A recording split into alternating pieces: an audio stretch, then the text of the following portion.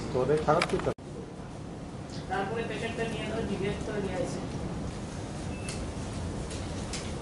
তাদের মধ্যে অন্তর্দয় যোজনার প্রোগ্রাম কিন্তু আমরা যখনই যেটা আসছে আমরা চেষ্টা করছি যে মোদিজির ব্যক্তিগত নয় জনগণের টাকা।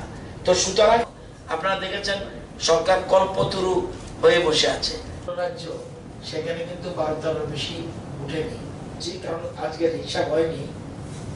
আজকে কত তারিখ আপনারা জানেন বই রাজ্যে যারা রয়েছে, এর মধ্যে এক হাজার সাতশো উনাশি জনকে এক হাজার যারা জেনুইন খবর পাওয়া যাচ্ছে এটা বাড়ছে ক্রমশ।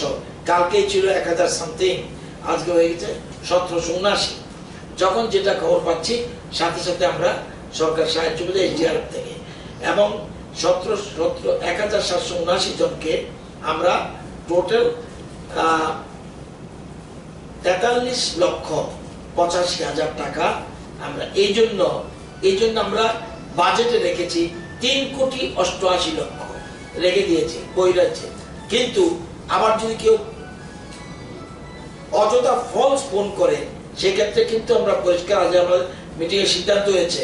আগরতলা থেকে ফোন করে বলল, আমি চেন্নাইয়ের এই হোটেলে আছি। তাহলে কিন্তু তার জন্য জেল জরিমানার ব্যবস্থা করা হয়েছে।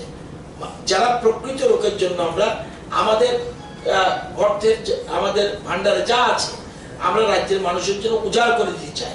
কিন্তু অযথা কেউ প্রতারণা করে টাকা নেবে, এ কিন্তু আমরা কোনো মতেই বরদাস্ত করব না।